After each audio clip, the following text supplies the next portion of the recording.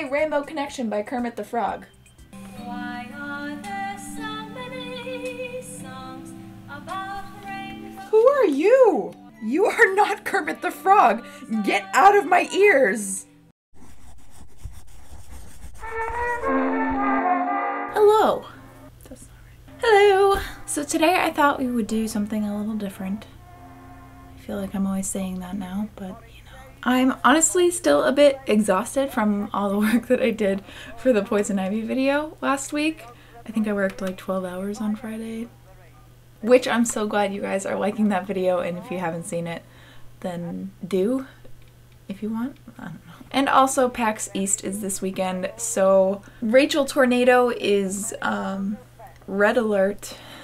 I'd say she's full-blown category 5. So I thought we would do a little bit more of a relaxing video today. I've got my coffee and I thought we would take a personality test as you can probably gather from the title. So specifically I wanted to take the Myers-Briggs one because I feel like that's kind of the most well-known one. I took it a few years ago and I don't remember what I got. All I remember is I think Gandalf was one of the like famous examples. Getting to know me, getting to know all about me. Just nice, cozy fun. Hold on, I gotta change the internet. Why does this always happen? I want to connect to the internet. Turn on Wi-Fi. Nick, help. Turn it off and on again, Nick. Really? That's your advice? It worked. So, free personality test. Answer honestly, even if you don't like the answer. Try not to leave any neutral answers. So don't be like him. You find it difficult to introduce yourself to other people.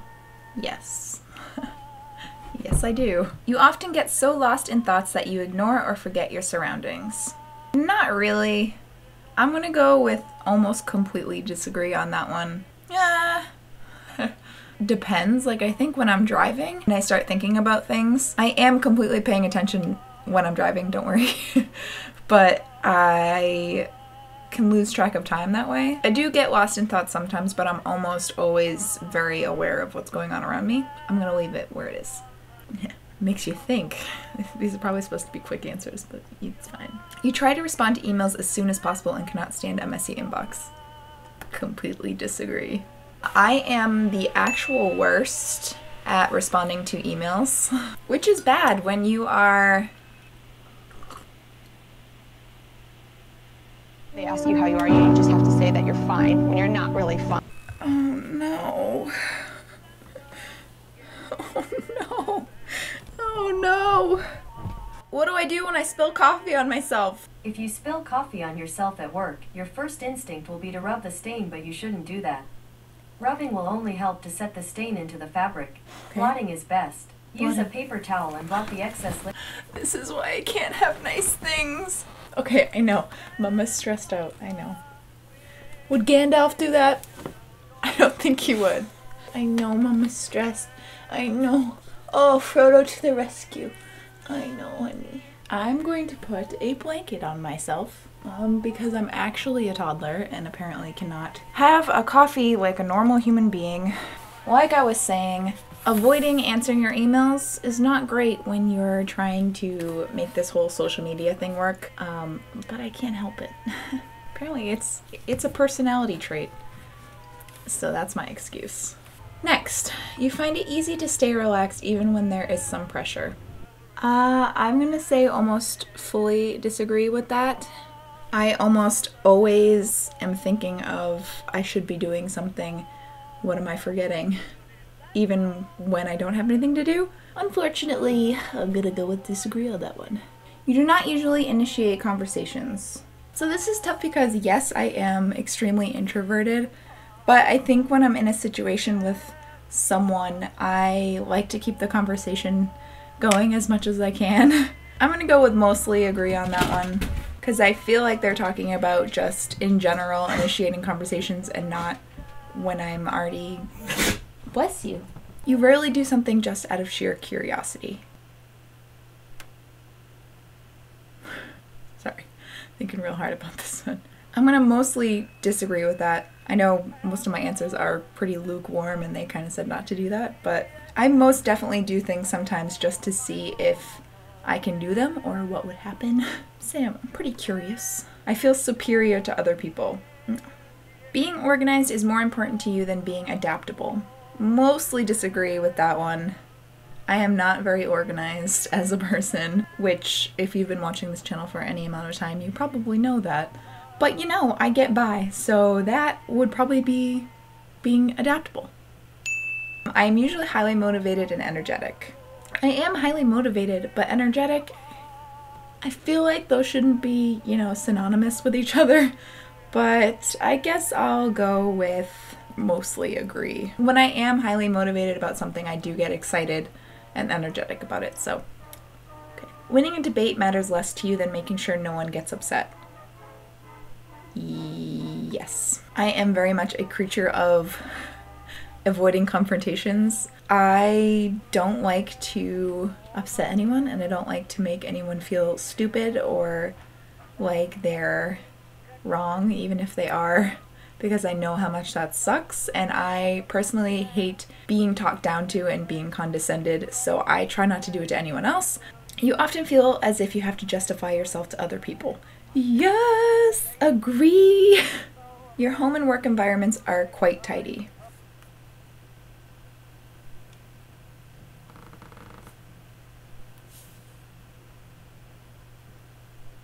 Do not mind being at the center of attention. I'm gonna go with mostly disagree on that. I think it depends what I'm being at the center of attention for. I don't like when people bring me up in conversation. Rachel does YouTube, Rachel does this, blah blah blah. But when I go to a convention and I'm wearing a costume that I'm extremely proud of and I worked really hard on. You bet I love when people notice and take pictures and are really excited, but for the most part, no, I do not like being the center of attention. You consider yourself more practical than creative.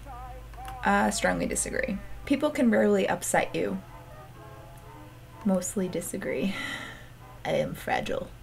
Your travel plans are usually well thought out. I was actually just thinking this morning how I want to plan out our New Orleans trip, pick out everything. I would decide what we're doing on each day and how we're getting there and that kind of stuff. So, yes, they are usually pretty thought out. It is often difficult for you to relate to other people's feelings. Strongly disagree. I am very much empathetic, so much so that if I see other people crying, I start tearing up. Weddings are always fun. Your mood can change very quickly. I don't know, I'm gonna go kind of neutral but agree on that. No, I guess we'll go almost.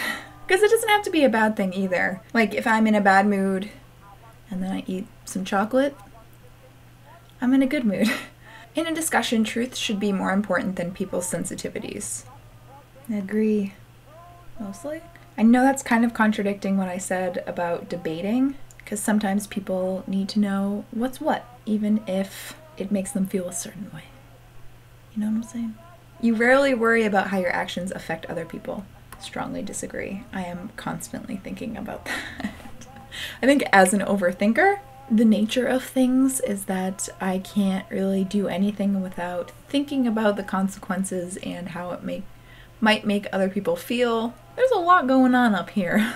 Always. Your work style is closer to random energy spikes than to a methodical and organized approach. I'm gonna go with mostly disagree on that. I think my kind of approach is that I know what I want to get done in a day, and even if I'm not feeling energetic, I still push through and do it anyways. So I'd say in that way it is kind of a methodical and organized approach rather than I'm feeling re- really energetic, I'm going to do a lot of work right now. I am often envious of others. Mm. Mostly agree, unfortunately.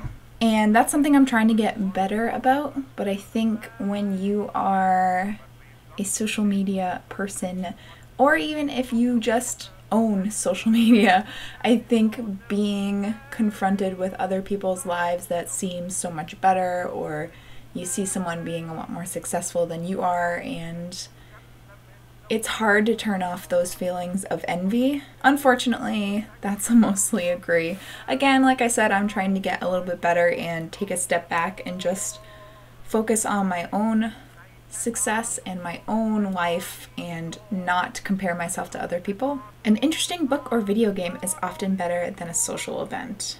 Completely agree. Being able to develop a plan and stick to it is the most important part of every project. Completely agree.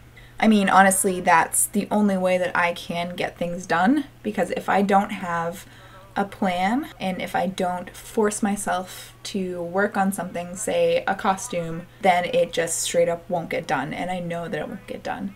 And I've had projects where I never really developed a schedule or, okay, I'm going to do this and this and this and this, and then they never get done. So for me, yes, being strict with myself and making a plan and actually forcing myself to stay on that plan is very, very important. I rarely get carried away by fantasies and ideas.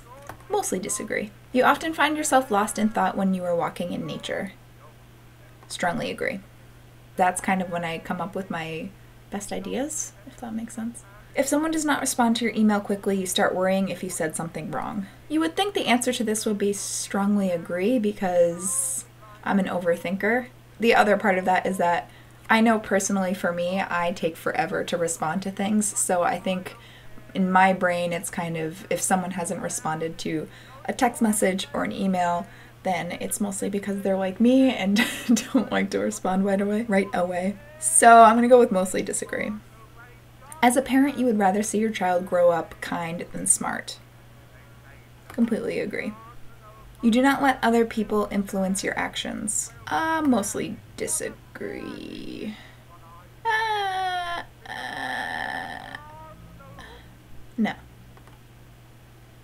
I'm.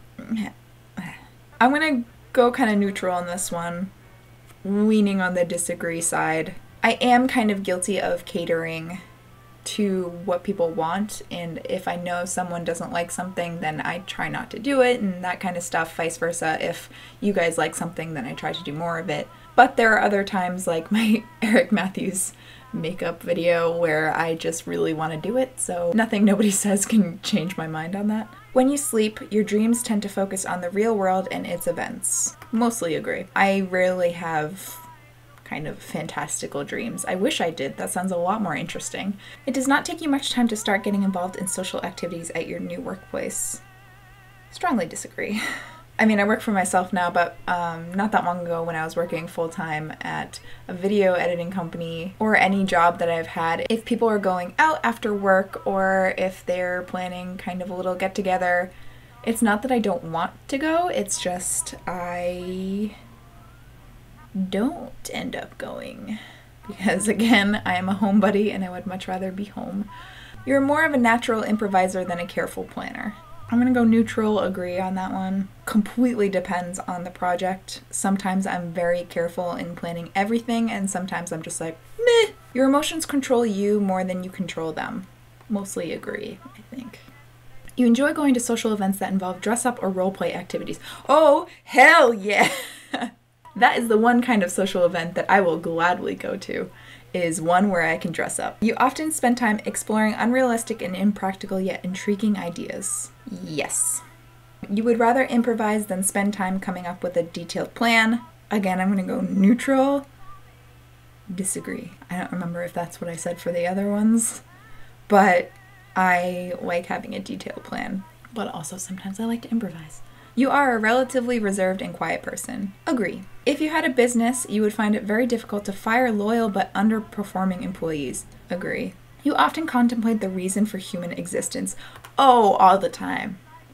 Yes. I mean, not the reasons for human existence, but just everything that's encompassed in that. I guess I am fascinated with humans and how far we have come, what we are, and how advanced we are. Just Logic is usually more important than heart when it comes to making important decisions. Mostly disagree. No. I'm gonna go with neutral disagree. I feel like I personally would more often take the path that feels morally right, makes me feel like I'm making the right choice rather than what is the logical choice. And obviously, these can be far different depending on the situation What you feel can be very powerful indeed. Keeping your options open is more important than having a to do list. Mostly disagree. For me, I need to have a to do list. Otherwise, things won't get done. If your friend is sad about something, you are more likely to offer emotional support than suggest ways to deal with the problem. Mostly agree. And I think sometimes that's all people need is just a shoulder to cry on and a hug. I rarely feel insecure. Mostly disagree. I wouldn't say I always feel insecure. A lot of times I just don't care. You have no difficulties coming up with a personal timetable and sticking to it. Neutral disagree. Sometimes I do make a personal timetable, but the problem is actually sticking to it.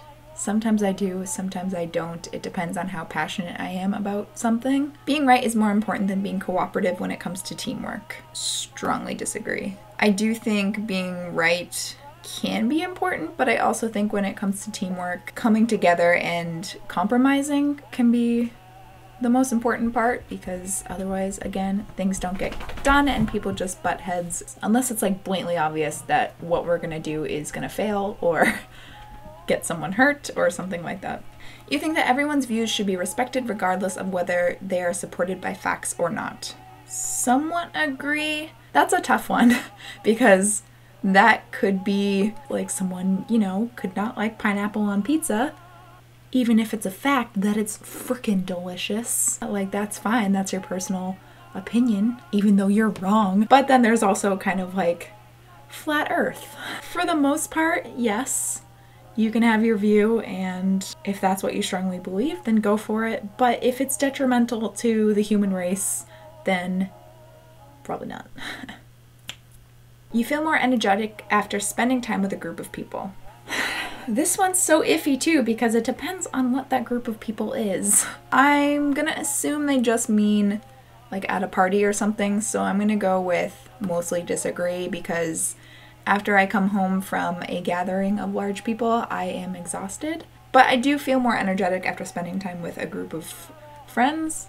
It's tough, but I'm assuming because they didn't say group of friends, I'm gonna I'm gonna go with disagree. I frequently misplace my things. You see yourself as very emotionally stable. Um, I would say mostly agree. I have definitely gotten a lot better in the past few months. I mean, I'm not free of breakdowns every now and then. Your mind is always buzzing with unexplored ideas and plans. Yes, absolutely. You would not call yourself a dreamer. Uh, mostly disagree. I am a dreamer. I am always constantly thinking of ideas that might be far fetched or my goals and plans. Uh, but I am also a little bit grounded and I know my limits and that kind of stuff. So, the lovers, the dreamers, and me. Rainbows are visions, but only illusions. The lovers, the dreamers, and me. You find it difficult to relax when talking in front of many people. Agree. Generally speaking, you rely more on your experience than your imagination. I'm gonna go with mostly disagree on that one because a lot of times I am dealing with a situation where I don't have a lot of experience, and so I kind of have to get crafty. You worry too much about what other people think. Mostly agree. If the room is full, you stay closer to the walls, avoiding the center. yes. You have a tendency to procrastinate until there is not enough time to do everything. Yes. Mostly agree. Sometimes the only way I can get something done is if I have a hard deadline. So, in that case, if I don't have a hard deadline, I tend to procrastinate a lot and then save it for last minute. I feel very anxious in stressful situations. Mostly agree. You believe that it is more rewarding to be liked by others than to be powerful. Strongly agree. I just want everybody to like me. You have always been interested in unconventional or ambiguous things, like in books, art, or movies. I don't really know what would be considered an unconventional movie. I'm not so much into the more abstract art. I very much like oil paintings and portraits and that kind of stuff. So, in that way, and in movies too, I don't really venture off into the more unconventional movies. I kind of stick to what I like and what makes me feel happy. I would say mostly disagree. You often take initiative in social situations. Mostly disagree. Right? Right, brain? Is that right? So, I don't know. I think this might be different than what I've got what I got last time. Okay, so my personality type is mediator. No one can stop you from dreaming. I'm 79% introverted. That makes sense. Energy, I'm 69% intuitive, 31% observant. Nature, um, I'm 86% feeling, is how I make my decisions. Identity, this trait underpins all others, showing how confident we are in our abilities and decisions. 72% turbulent. Is that Frodo? Mediator personalities are true idealists, always looking for the hint of good even in the worst of people and events, searching for ways to make things better. While they may be perceived as calm, reserved, or even shy, mediators have an inner flame and passion that can truly shine. Alright, go on. The risk of feeling misunderstood is unfortunately high for the mediator personality type. But when they find like minded people to spend their time with, the harmony they feel will be a fountain of joy and inspiration. Being a part of the diplomat role group, mediators are guided by their principles rather than by logics, excitement, or practicality. When deciding how to move forward, they will look to honor, beauty, morality, and virtue. Mediators are led by the purity of their intent, not rewards and punishments. Oh, and it has a Tolkien quote. Why am I getting emotional? I just really like Lord of the Rings, okay? All that is gold does not glitter, not all who wander are lost, the old that is strong does not wither, deep roots are not reached by the frost. One of my favorite quotes ever. Fantasy worlds in particular fascinate mediators more than any other personality type. The strength of their visionary communication style lends itself well to the creative works, and it comes as no surprise that many famous mediators are poets, writers, and actors. Understanding themselves and their place in the world is important to mediators, and they explore these ideas by projecting themselves onto the work. Unlike their extroverted cousins, though, mediators will focus their attention on just a few people, a single worthy cause. Spread too thinly, they'll run out of energy and even become dejected and overwhelmed by all the bad in the world that they can't fix. Mediators often drift into thought, enjoying contemplating the hypothetical and philosophical more than any other personality type.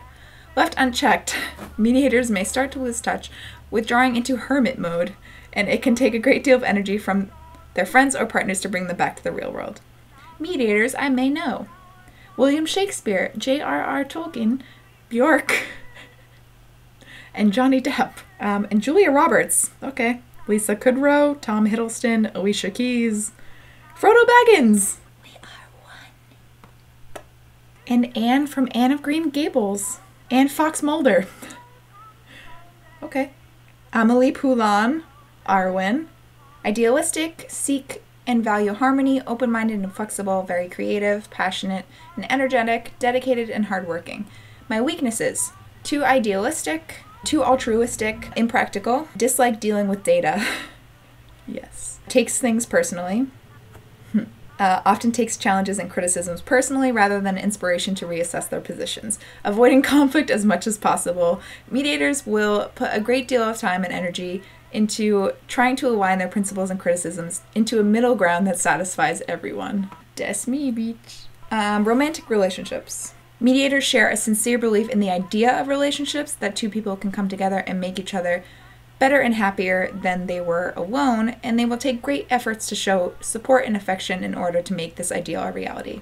This aversion to conflict, while contributing greatly to stability in the relationship when done right, is probably the most urgent quality for mediators to work on.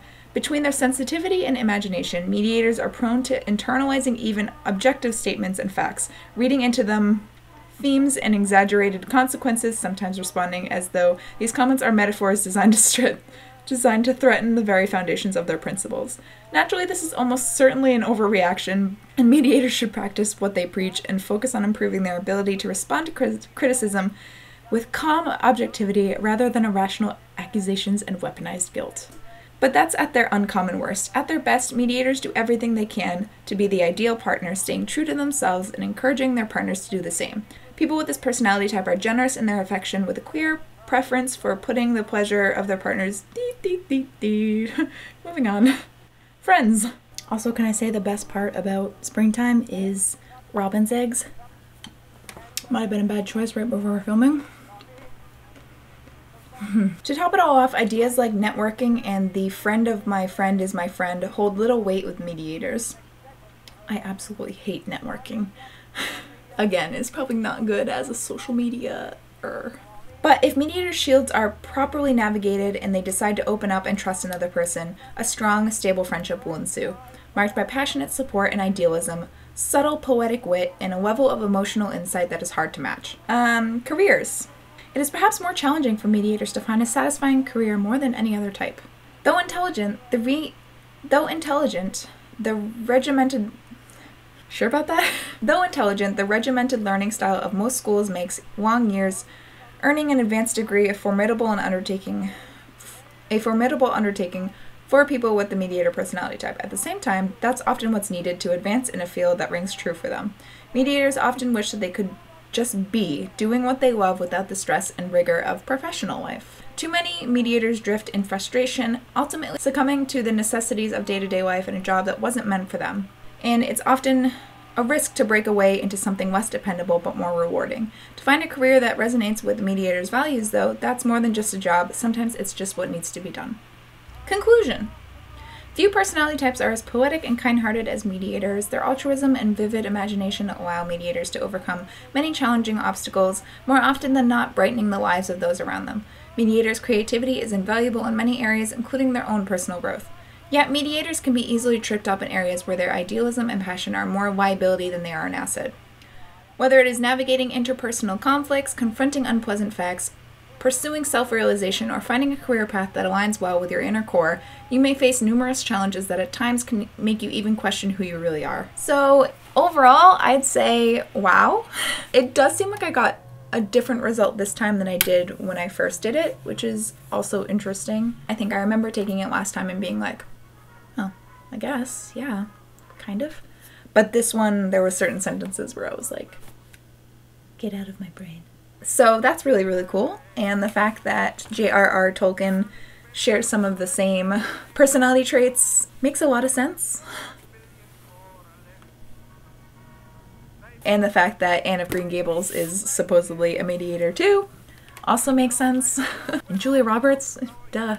So yeah, that was it. Um, I ended up recording a lot of footage, so this might be a longer video, but you know, sometimes it's nice to just sit down and chat. Hopefully you guys like this. Let me know if you guys have taken this and what your personality types are. I'd really love to know. Anyways, I love you guys whether you're new or old to this channel. If you're new here, which you probably aren't, um, unless you know you're watching a rando take a personality test, um, feel free to subscribe. I upload twice a week and we have fun here. And I will see you guys in the next video. Bye! Know all about you, getting to something, something like you like me. Nailed it. I just wanna connect to the internet, please. Connect to a network. Why? Calm down, laptop. My god. It's just a personality test. Whew, easy. We're not running Sims over here. This thing sounds like it's gonna blow up. My therapy dog. But when mama spills coffee on herself and makes a big deal out of it when she probably shouldn't. Oh my god, everything's falling apart. I do not buy. Blah, blah. I do not. Blah. okay. Woo. Got a package for me? Hi there, sir. Don't look at me. You are relatively. bleh. You are relative.